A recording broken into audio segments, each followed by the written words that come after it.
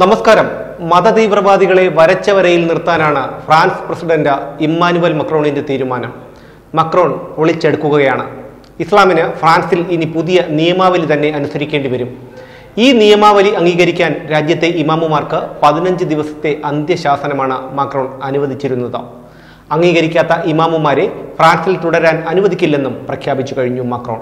തീവ്ര മതചിന്തയുള്ളവരെ നിലയ്ക്ക് നിർത്താനായി Emmanuel Macron നടപ്പിലാക്കുന്ന പുതിയ നിയമങ്ങൾ ഇതൊക്കെയാണ്. ഒന്ന് ഇസ്ലാം എന്നത് ഒരു മതം മാത്രമാണ്. ഫ്രാൻസിലെ നിയമങ്ങൾക്കുള്ളിൽ നിൽക്കുന്ന നിയമങ്ങൾ മാത്രമേ ഫ്രാൻസിലെ ഇസ്ലാമുകൾക്കും പാടുള്ളൂ. രണ്ട് പൊളിറ്റിക്കൽ ഇസ്ലാം അനുവദിക്കില്ല. മതത്തിന് രാഷ്ട്രീയത്തിൽ ഇടപെടാൻ അനുവാദമില്ല.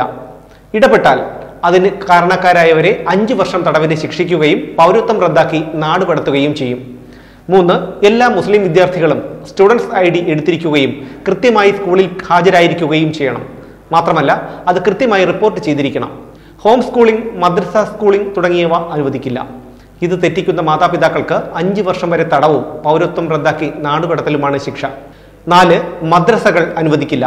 മതപഠനത്തിന്റെ സിലബസ് സർക്കാർ അംഗീകാരം വാങ്ങി സർക്കാർ നിർദ്ദേശിക്കുന്ന സ്ഥലത്ത് സർക്കാർ നിരീക്ഷണത്തിൽ മാത്രമേ നടത്താൻ പാടുള്ളൂ. മതപഠന ക്ലാസുകളുടെ വീഡിയോ ഓരോ ക്ലാസ് കഴിയുമ്പോഴും ബന്ധപ്പെട്ട സർക്കാർ വകുപ്പിൽ ഹാജരാക്കണം. ഇതിൽ വീഴ്ച വരുത്തിയാലുമുണ്ട് അഞ്ച് വർഷം തടവും നാടുകടത്തലും. ഫ്രാൻസിൽ മുഹമ്മദ് അല്ല താനാണ് ഇസ്ലാം എന്ത് ചെയ്യണം എന്ന് തീരുമാനിക്കുന്നത് എന്നാണ് ഇമ്മാനുവൽ മക്രോണിന്റെ പക്ഷം.